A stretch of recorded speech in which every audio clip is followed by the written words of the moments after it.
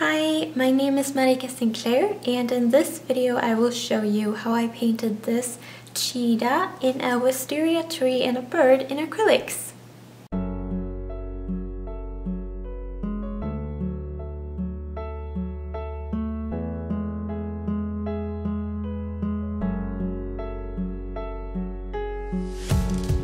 So I'm starting with blending what's furthest back in my background, this sort of teal gradient from top to bottom, and I'm using a lot of paint for this with very little water.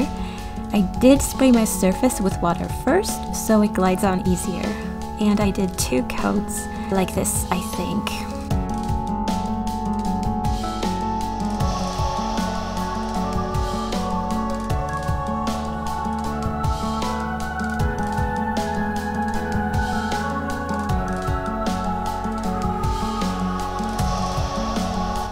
That's done and dry, I have transferred my line drawing with white transfer paper and I'm filling in the tree trunks.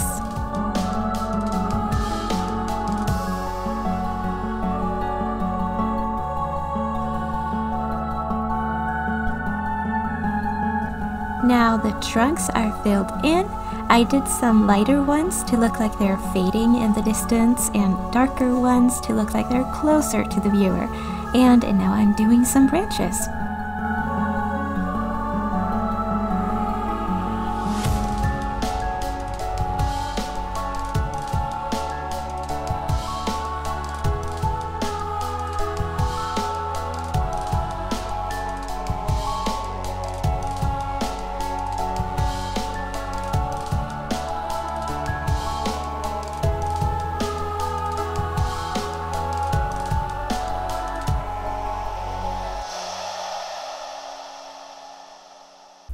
Doing a hint of leaf foliage in the background.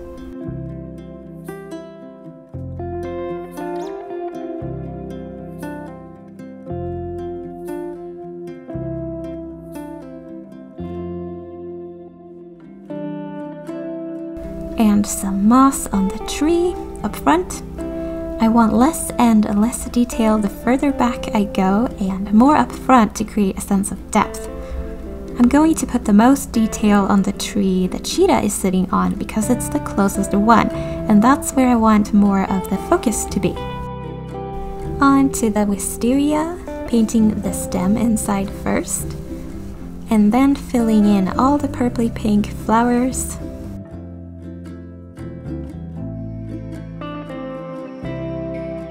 Shading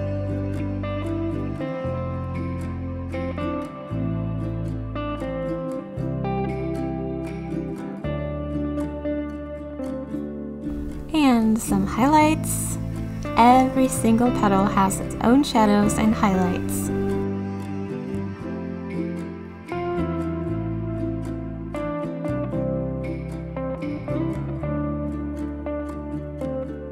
On to the rest. And I'm speeding up the video a bit since it's the same process for all of these flowers.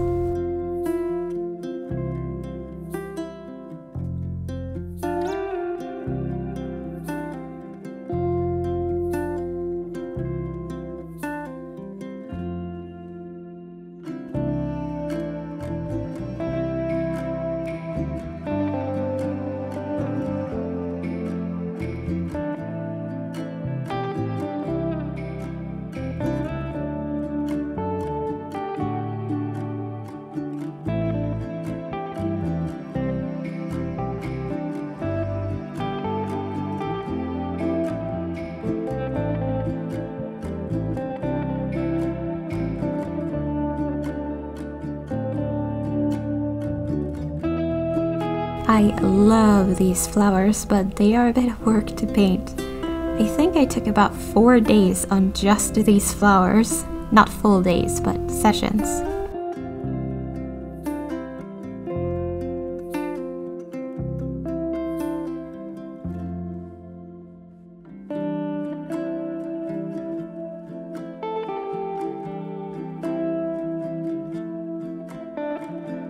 Filling in this branch with a grayish brown. It's more gray than brown.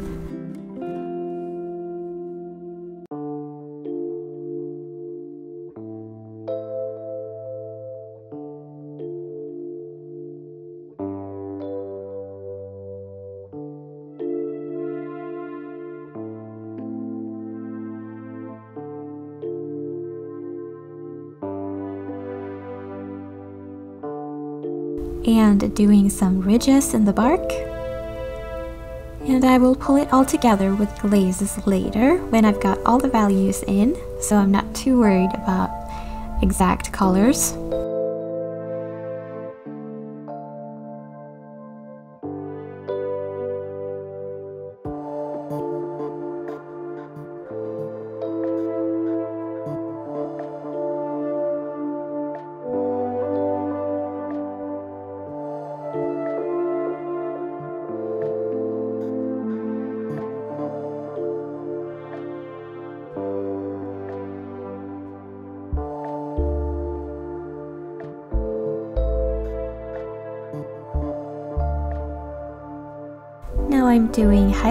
With a light gray.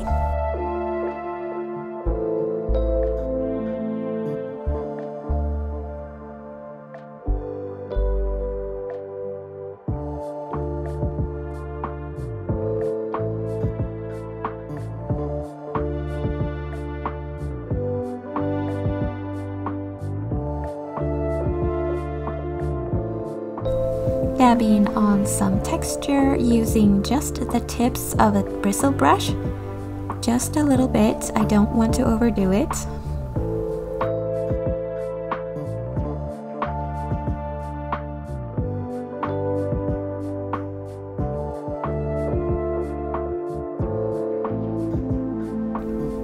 More highlights.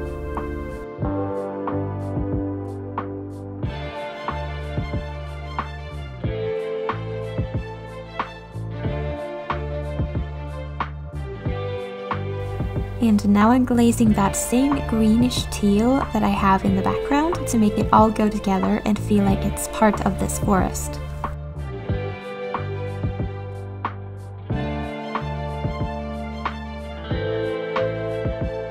Putting down the basic shapes of the forest floor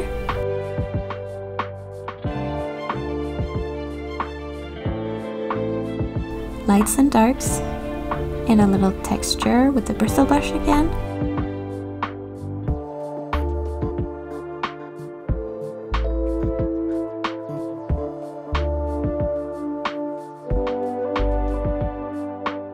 Glazing over it with some blue and green. I almost always finish all my layers with glazes. It just pulls everything together and you can get your colors so vibrant if you want.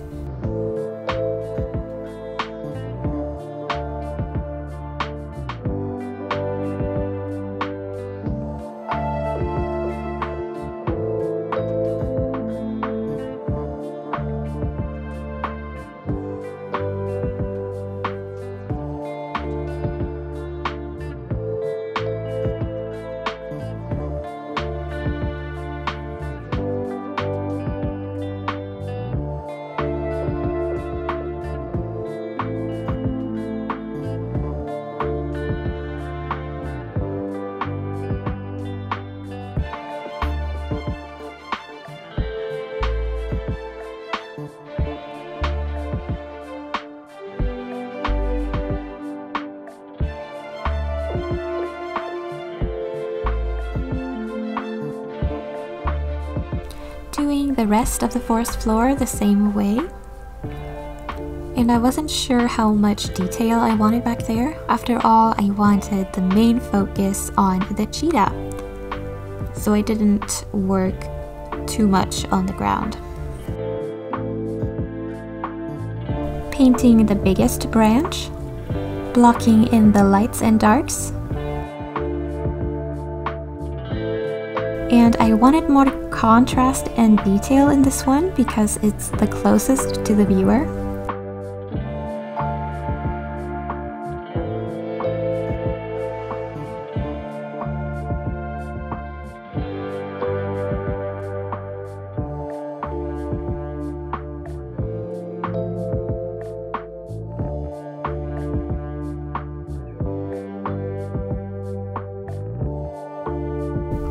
Painting some plants and wisteria petals.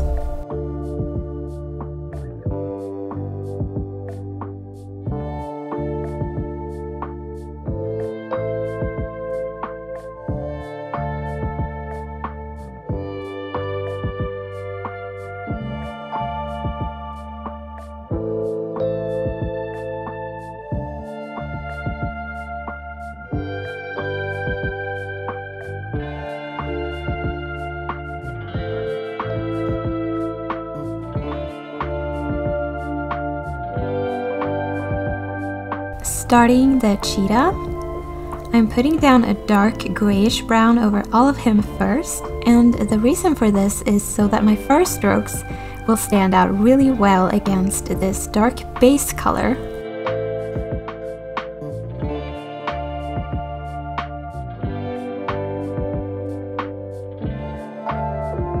And here I have transferred my lines again and starting with blocking in all his black markings.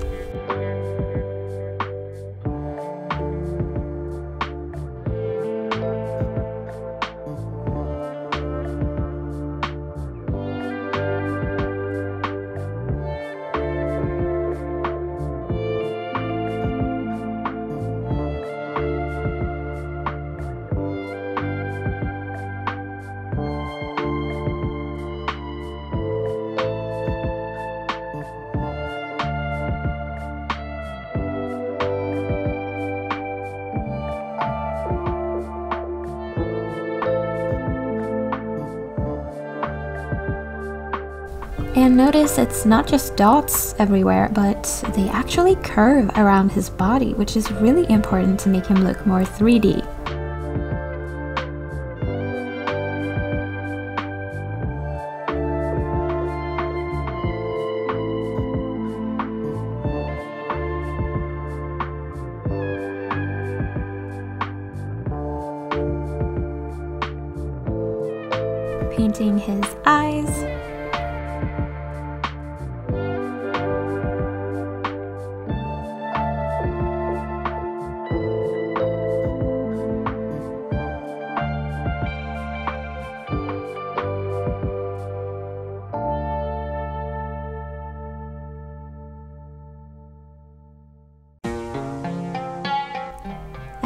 I'm starting to create his fur.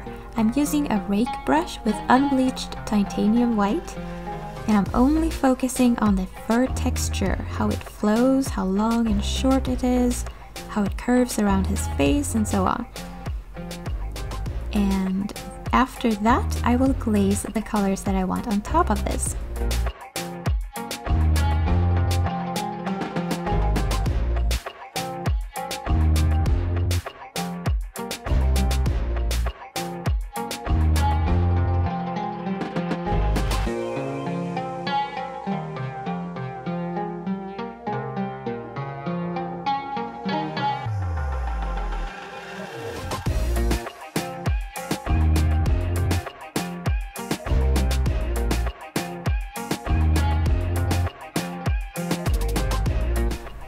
So I'm doing all of this with just one color, unbleached titanium white.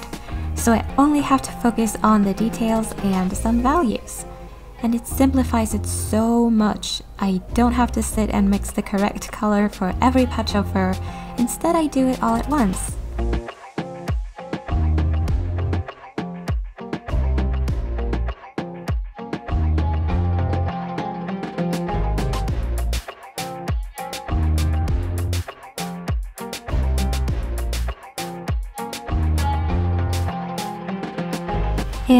I'm starting to glaze now. It's super watered down paint and I only put a little bit and smooth it out with a mop brush.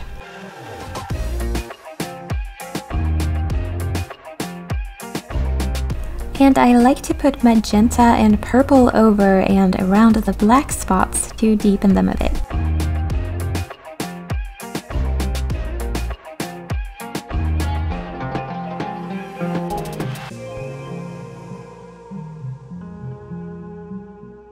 Moving on to the rest of the fur, only using unbleached titanium white again.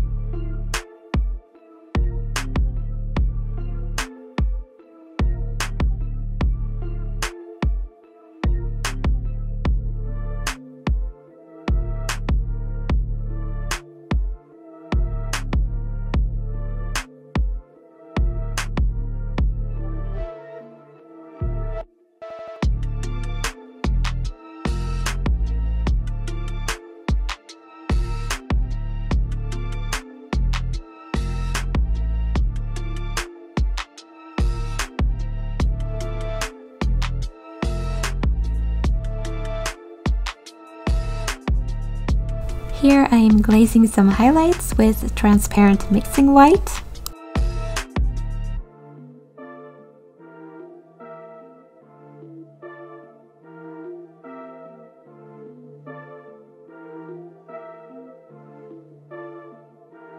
And some color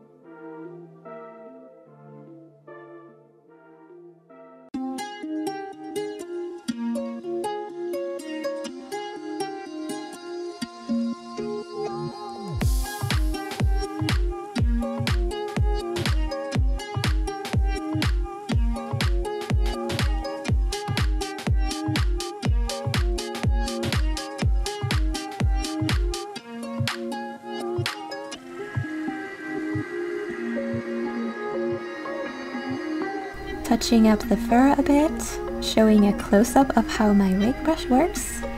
It takes a bit of practice before you get it right.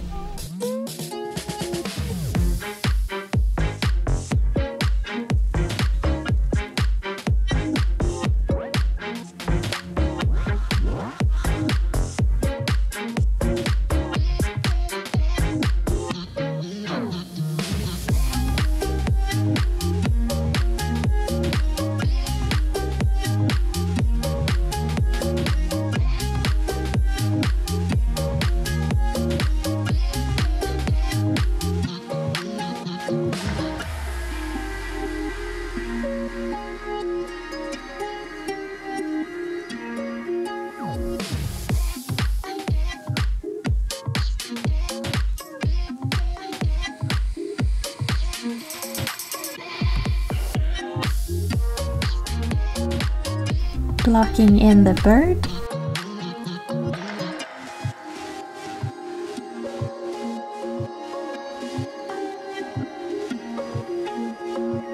And got my lines in. And starting with the eye. And then doing the details the same way I did the cheetah, just one color and glazing later.